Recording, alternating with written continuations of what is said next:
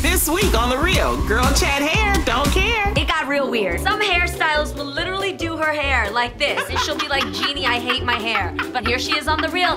This is our time.